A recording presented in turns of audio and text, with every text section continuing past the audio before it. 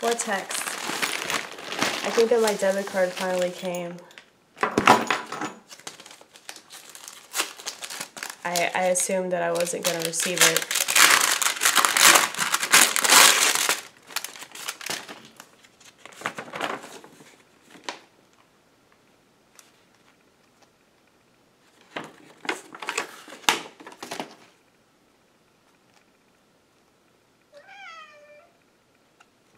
Is that it?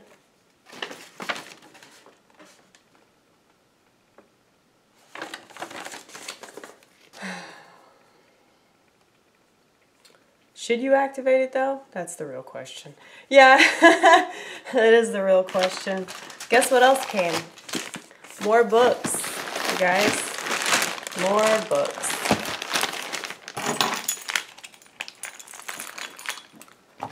Okay, you need to find your car key before it's too late. Okay, okay, we found it. that didn't take long. Usually takes a lot longer.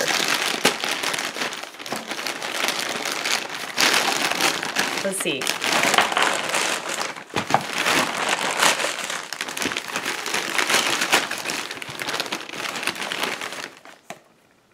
So apparently I, I got two copies of this book. So here's an additional copy of A Clockwork Orange. I guess I could just give it to somebody. Oh man, I love that smell though. You can't smell that through the vortex, but it smells like a library. It's one of my favorite smells in the world. Let's see. I've read this book before. It's very good. Pisses me off though. I hate it when they do this shit. Whenever they put like a picture from the movie on, on the book, I fucking hate that. I won't see the movie either. This looks terrible. But uh this just sounds really good. It sounds interesting. I'm really excited about this. This is all about Ken Kesey. Everybody's heard of this one. It talks about adrenochrome. Now, um, this one I felt like is pretty important, especially right now.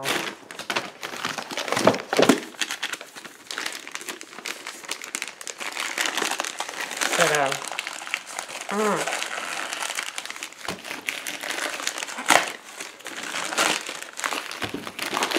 This is the one that I'm the most excited about.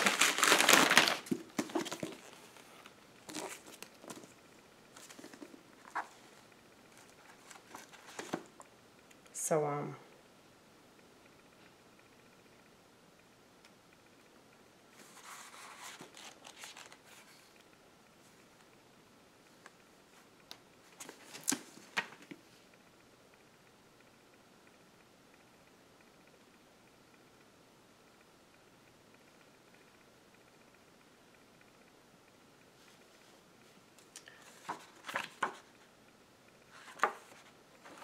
apparently it's like a sequel to 1984. But I just thought I'd buy it because that was like about the year that I was born in.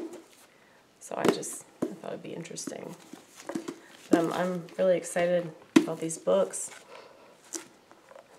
God, I love that smell.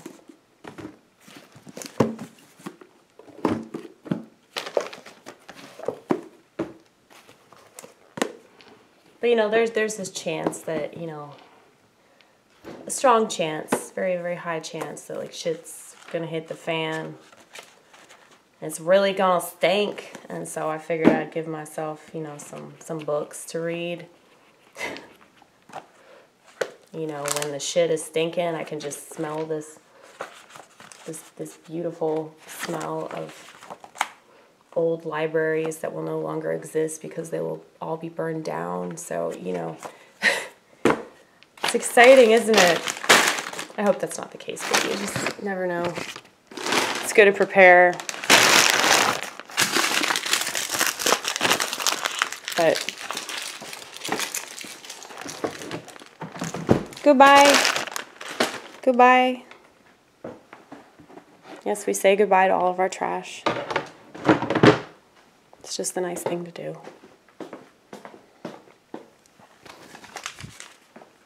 Look at that. That's red pepper. Because they can't stop fucking with shit. We've had to like rearrange all the items in the cabinets because they'll get into them. I caught Paisley trying to get into uh, the oatmeal last night. The oatmeal and the soup and like uh, they'll literally get into anything they can possibly get into because they're just horrible they don't have a soul. Um, well, they're a lot like liberals. They're like, let's fuck with this. You know, we don't need to, but let's do it anyway. You know, let's let's fuck up a good thing like Amy's nicely arranged cabinet. We don't have to do this, but we're going to just because we can. Um, anyway, I think I've talked long enough. No, you haven't. You could talk longer. I, I know I know that I could, but I probably shouldn't, right?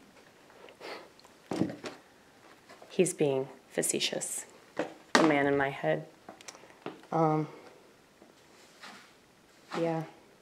I get to go to work tomorrow at like at three o'clock. It's gonna be really weird being there that early, but then I get to leave early too, so I could go do comedy and be with all my friends. But uh, I'm doing like more comedy shows hopefully that's what's going to happen. And if the comedy scene in Nashville gets popping, that'd be pretty tight. That'd be pretty tight to be part of all that. I'm really glad that I'm not one of those crusty old Republicans like that can't, you know, hang out with people that have lifestyles that I don't agree with. You know, it's like they're inviting me to do comedy at a strip club and they're like, Are you able to do that? Like, yeah, I'm able to do that. Like if I have a reason to be there, I'll fucking go.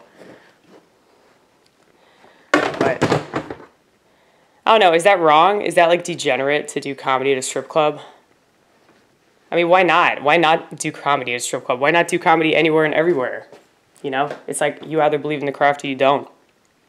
But I don't want to be too much of a fucking, you know, righty tighty, you know, like, oh, I'm not going to go there because it's against my, my values.